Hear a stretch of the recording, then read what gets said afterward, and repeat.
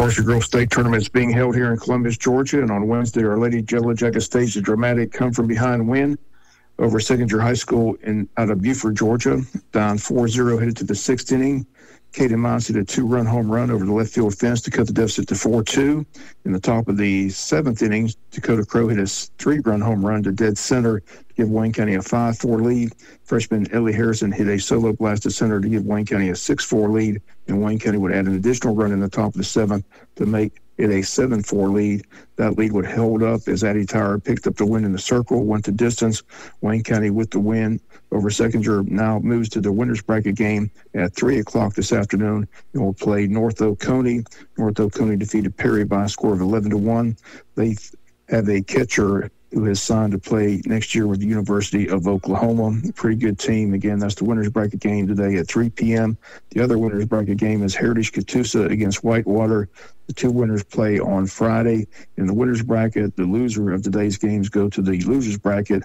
Once again, it's a one game only day today on Friday or on Thursday. Again, Wayne County's game, 3 o'clock.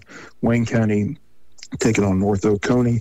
Our pregame will start at 2.50 in the first pitch at 3 o'clock today, Wayne County, North Oconee here from Columbus, Georgia. Friday night football, the Wayne County Yellow Jackets host Southeast Bulloch at JC Stadium. Kickoff set for 7.30. In Southeast Bulloch and Wayne County both fighting for playoff spots. Here's Coach Shaw's comments about Southeast Bulloch football team. You know, Southeast Bulloch, they uh, they create their own unique challenges. You know, they're a they're an option wishbone offense. Um, you know, they uh, they switched offenses uh, after last year, and then they went to the option this year, and um, they they like to grind out games. Um, they're going to snap the football inside of 10 seconds on the play clock every snap, um, and it's they're going to try and bore you to death. I mean, I told our team on Monday, listen, I played in this offense for four years, and I beat a lot of people uh, doing it. So being able to, uh, you know, just it's all about discipline. It's all about you know playing with great eyes. You know, taking if you're supposed to take the dive, you got to take the dive. If you're the quarterback player, you got to take the quarterback player, and making sure you know we don't get quote unquote bored um, seeing it looks like the same play over and over and over, but it's certainly very different.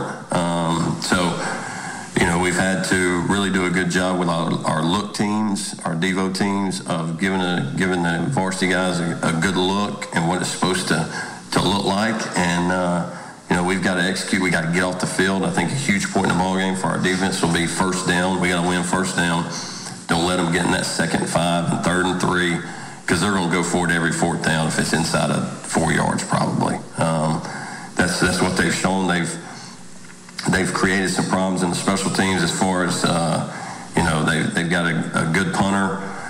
Good kicker. They've hit some surprise onside kicks. They've faked a punt against BC, um, like backed up on inside their 20 or inside their 15.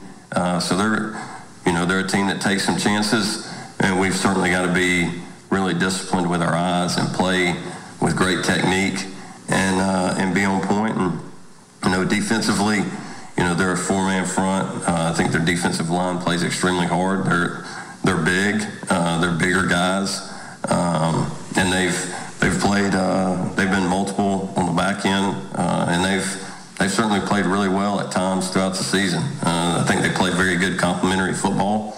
Uh, they don't let you, you know. I think they do a good job of knowing their personnel. They just don't let people run go balls by them or run deep post by them. You know, they try and keep everything in front of them and uh, wait for the offense to make a mistake.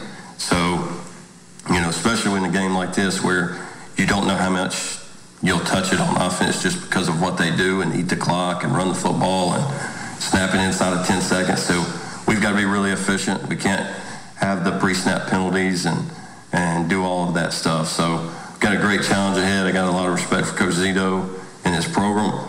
And uh, we just need to focus on us and go play our best football and be ready to go. And once again, those comments, Coach Jay Shaw. You can hear all his comments on the Wayne County Coaches Show tomorrow night at 6.30. That leads into our pregame show at 7 and the kickoff tomorrow night at 7.30. Again, it's Wayne County and Southeast Bulloch. After the weekend, Wayne County have a better idea of knowing where they're seated in two, three, and four slots in that state tournament. Again, Wayne County has the next Friday off, and then the state playoffs begin the following Friday.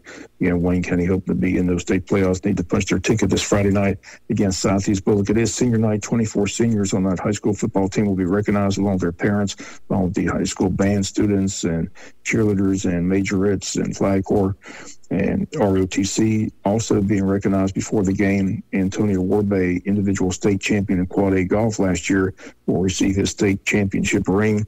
That ceremony again taking place Friday night in the pregame ceremony at JC Stadium. Georgia Southern football this afternoon. Georgia Southern taking on Georgia State. Georgia State six and one. Georgia Southern five and two. Should be a heck of a ball game this afternoon in Statesboro. We'll have that game for you here on Big Dog Country FM 105.5 FM. Once again, we're live in Columbus. Again, Wayne County in the winners bracket. Wayne County taking on North Oconee this afternoon at 3 p.m. Again, our pregame this afternoon will begin at 2.50 from Columbus, Georgia. That's going to do it for latest in local sports. Bob Morgan saying have a great day.